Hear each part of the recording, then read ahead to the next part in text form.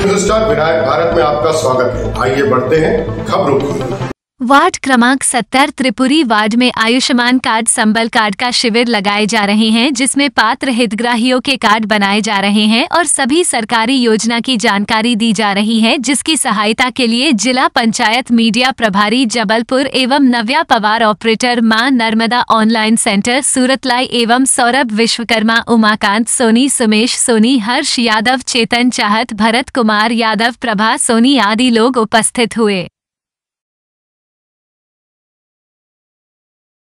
मेरा नाम सुमेश सोनी है। वार्ड क्रमांक सत्तर से त्रिपुरी वार्ड।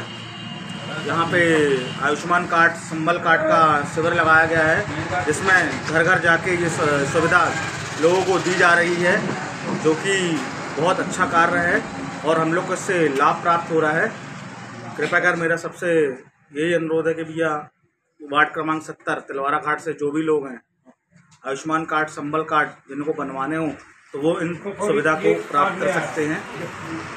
बाकी और जिसको संबल कार्ड आयुष्मान कार्ड बनवाना हो जो गरीबी रेखा में हो लोग वो भी बनवा सकते हैं और इस लाभ को प्राप्त कर सकते हैं। धन्यवाद।